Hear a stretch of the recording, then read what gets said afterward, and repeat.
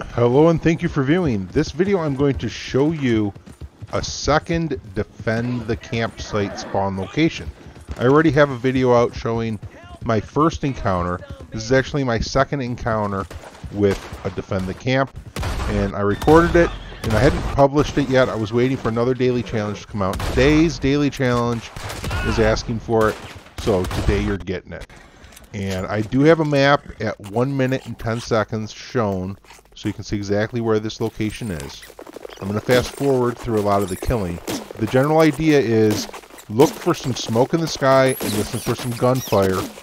And you get those two combinations, generally you're going to have a camp location nearby. And it's one of the new encounters. You go there, you see at the bottom of the screen it said defend the campsite while I was killing all those guys.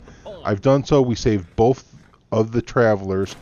I had had an encounter one time before, which I didn't record, where one of my travelers died, but I still passed the mission and got paid. It wasn't for a daily challenge, but I'm still pretty sure it would count.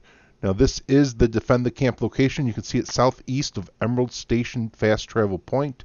It's only a hop, skip, and a jump from there, so it's nice and close.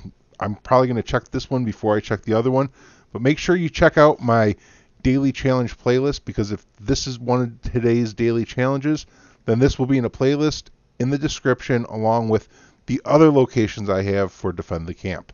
Thank you for viewing, subscribing, hitting those thumbs ups and shares, especially for joining. I'll catch you all next time. Until then, happy hunting and happy trails.